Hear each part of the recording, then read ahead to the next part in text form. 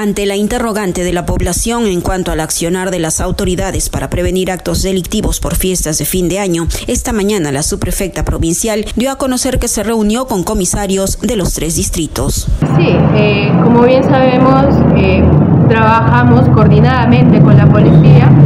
Ya nos hemos reunido en la oficina, ¿no? Con las comisarías y pues este cada uno de ellos ya tiene una estrategia que vamos a implementar y están implementando ya desde ahora para las fiestas este, navideñas pues y año nuevo no eh, como bien sabemos eh, todos contribuimos a la seguridad hay que eh, muy aparte que las autoridades siempre estamos pendientes ¿no? de cualquier situación uno personalmente como ciudadano hay que tomar también tus medidas de seguridad ¿no? y bueno con la policía como le menciono ya hemos venido todo ¿Qué día fue? El día martes, si no me equivoco, nos hemos reunido ya y bueno, se ha tratado estos temas muy importantes que ya se viene trabajando. ¿no? Como se recuerda, hace algunas semanas la subprefecta se comprometió a realizar las coordinaciones para tomar acciones en cuanto a los casos delictivos en la ciudad de Tarapoto. Señaló que se realizarán más operativos. Así es, ya se tiene ahí este, unas estrategias ¿no? que se vienen trabajando ya como policía, especialmente para estas fiestas navideñas y Año Nuevo.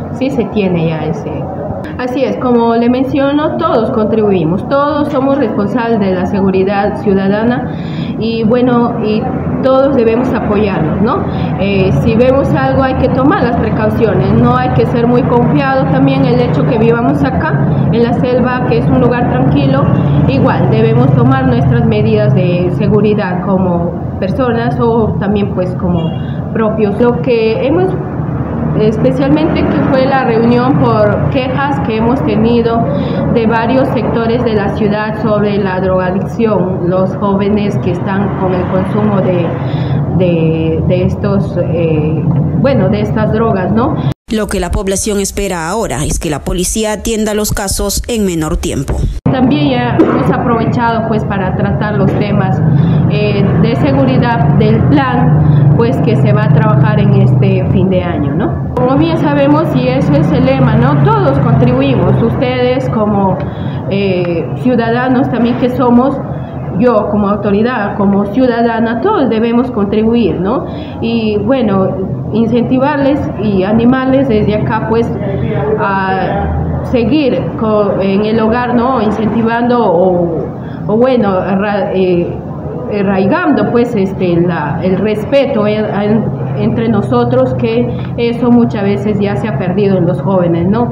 Al parecer los operativos serán más intensos en el mes de diciembre, siendo más incisivos en la entrada y salida de la ciudad de Tarapoto.